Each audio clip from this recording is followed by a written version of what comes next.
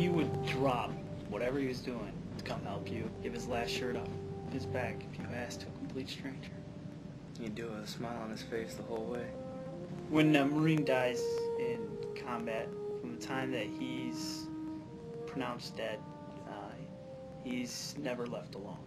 Um, we are here today to take over the, the watch. Uh, it's our turn to, to guard Bryan until he's at his final resting place. I knew right away, um, no offense to any other Marines, but I, um, I'll make sure he's, when he comes back to Michigan, he's, he's brought home right.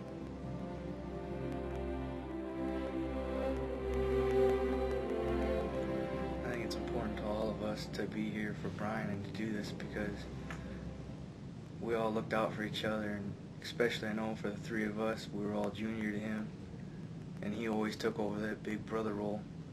So now it's our turn to take over and watch out for him.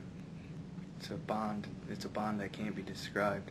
For those who have not gone through this, and the less the better, there is some comfort in the kind of ceremony that you, you get with a full military funeral. Today, the Purple Heart is perhaps the most unique of all United States military awards.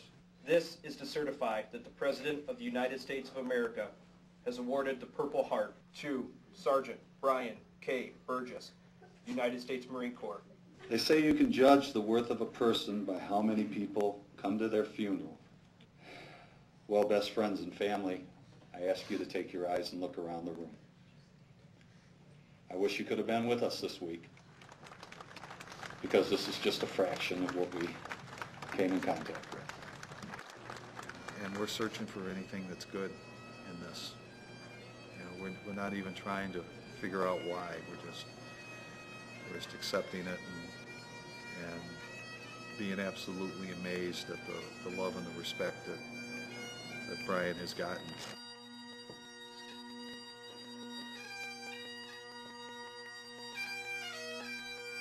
I'd like to thank you for coming this morning to Camp Baharia for the memorial service to honor Sergeant Bryan Burgess.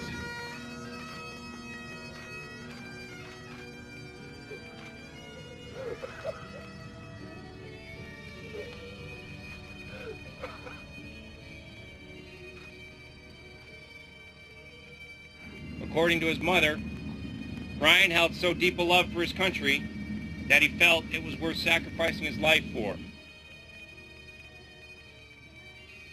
On the morning of the 9th, I was walking to Chow. I saw Burgess on standing on top of a Humvee outside the Chow Hall. Smile on his face, cigarette in his mouth. He yelled me out, yeah, baby, as only he can. On my way back out came as no surprise. There was Bryan, standing on top of the Humvee. We exchanged a few laughs, and I told him to stay safe and I'd see him out there.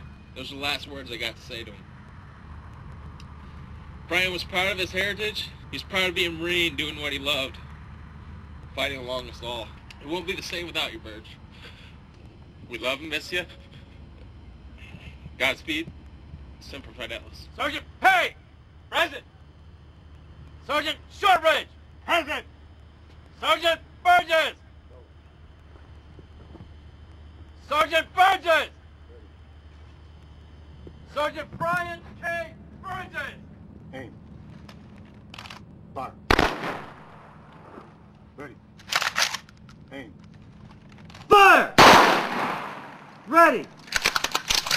Aim! Fire.